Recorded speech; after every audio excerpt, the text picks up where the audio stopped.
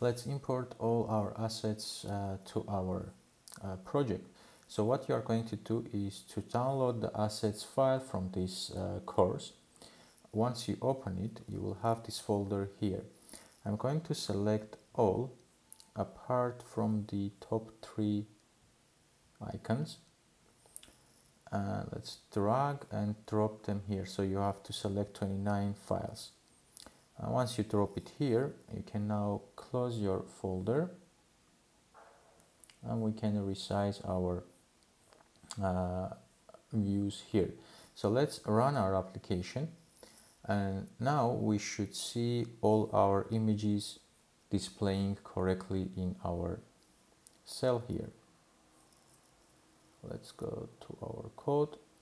Something is wrong.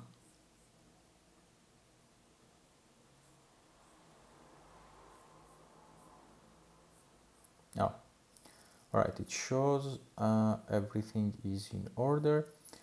What I would do is just to change the size of our labels a little bit. So let's make them smaller.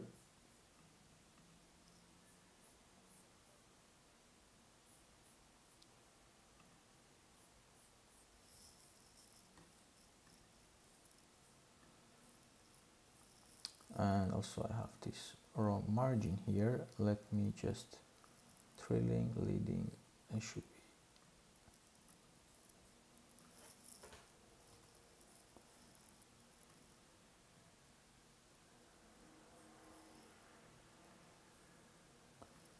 Zero and zero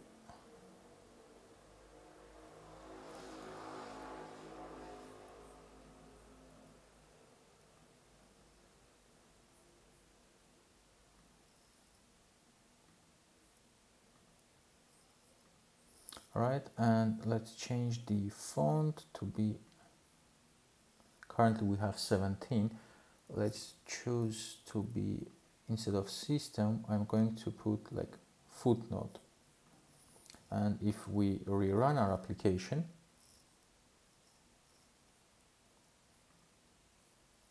now our uh, label is much better sized so it's not too big to be impossible to read so we have uh, our collection view set nicely and all our images and labels are set as well.